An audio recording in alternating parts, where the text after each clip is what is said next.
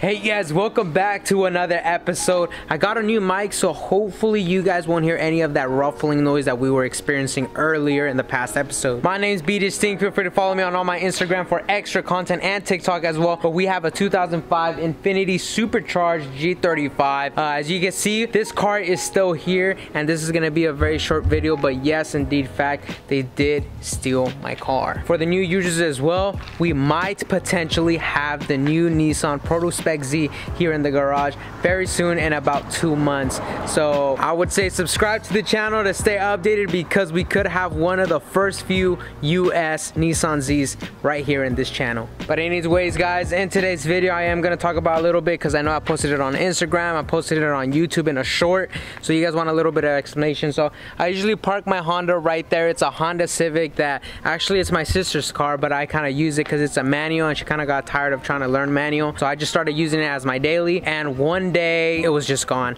My parents went out to go do the oil change for the Honda and the Honda wasn't there and he's like, oh, maybe he went out. They checked my room and I was still there. So they're like, oh shoot, the car is gone. We filed a police report and the police actually called two days later saying they found it, which I was surprised. I was like, dude, that was quick. Two days, man. Y'all y'all stepping your game up. So cops really out there looking for stolen cars. But anyways, my car was left about a mile that way, I would say. Not even a mile, like half a mile that way. Um, so that was kind of weird. I'm assuming the guy lives close by. I don't know who it was, but they did take something from the Honda Civic. I'm pretty sure a lot of you guys who have experience, you guys know what part they took. I'm gonna roll this small little clip for you guys so you guys can see.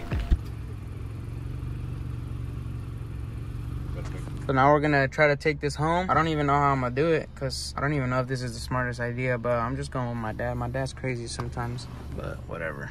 Slowly but surely.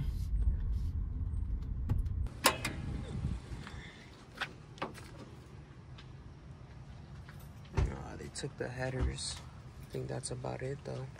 So you guys can see on that episode, they ended up taking the cats. It looked like the headers at first because you first see the engine and there's nothing bolted onto the engine and usually the piece that's bolted onto the engine are your headers and your headers continue on to your catalytic converters, right?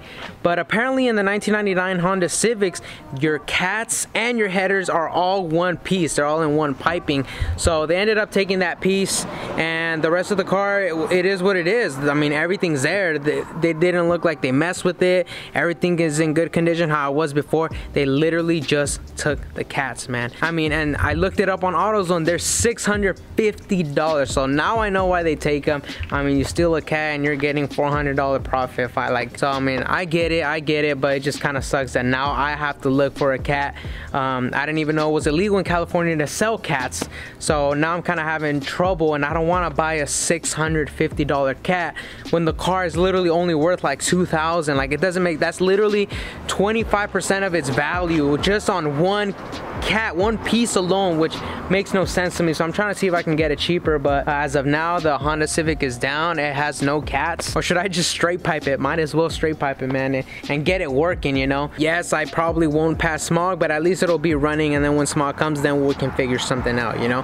But yeah guys that was the story real quick and short. They stole my honda civic. But they found it two days later. They took the cat so that's what it is but but hopefully we won't need that honda civic any longer because i'll have the z and i could daily the Z and and we can just sell that. So at this point we have too many cars. We have the Honda Accord, we got the G35, the Volkswagen, we have my sister's Honda Accord 987 which is not here, she took it, and then we have that Civic, and then we're gonna have a Z. Like bro, we're a dealership at this point. Like we gotta start selling cars, so we're gonna sell that car uh, most likely. It's a six speed, it works perfectly. So um, if you guys are interested, let me know. Anyways guys, I'll end the video right here. I have a couple videos with the G that I wanna shoot later this week, and then hopefully I get some info with the Z as we approach the two months because we should be receiving some updates man. I'm excited for this car man. I'm really really excited and for the content to come. So stay tuned subscribe to the channel. I'll catch you guys next episode. Peace